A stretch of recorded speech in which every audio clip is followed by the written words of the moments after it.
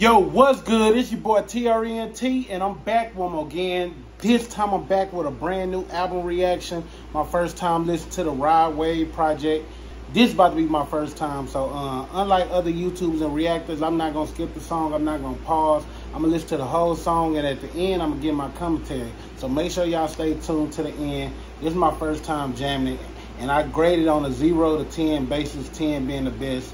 You know what I'm saying? Anything above seven is good. Anything below five is trash. Six is mid.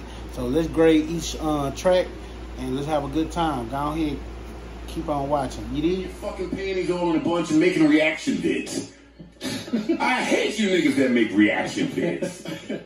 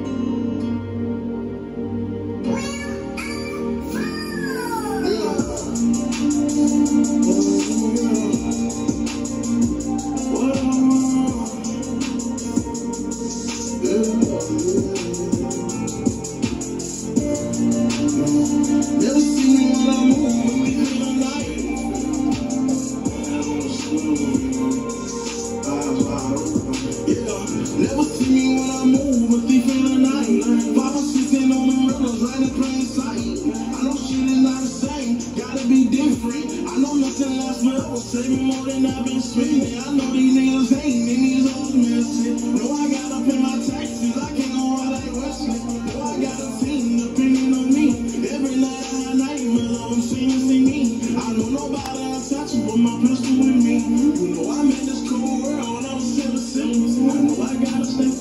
my business in order. Be up for my family and be there for my daughter. I know niggas ain't got money, but these niggas wanna beef. Niggas can't compare, but these niggas wanna compete. No death around the corner, but it better not touch my street. My youngin' from Daytona, he gon' hit the road me. The high post, see him on the ground. Yeah. So many things in his brain at one time. Wake up in the morning and get straight to the business.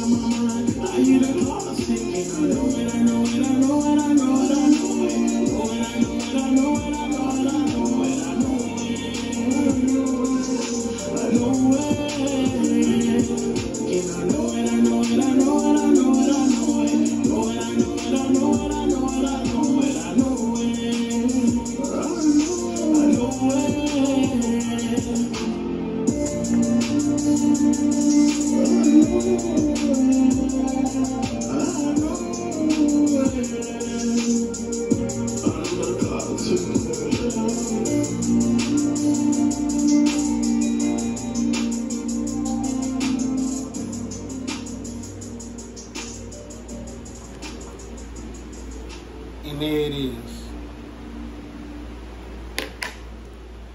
That's Rod Wave. I know it, I know it, I know it, I know it, I know it. Yes, I know it's a cool little track, you know what I'm saying?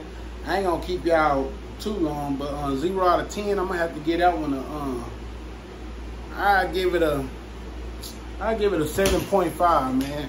Anywho, tell me what y'all think about this song. What y'all think about Wild Ray? What's y'all favorite song on the album if y'all already heard?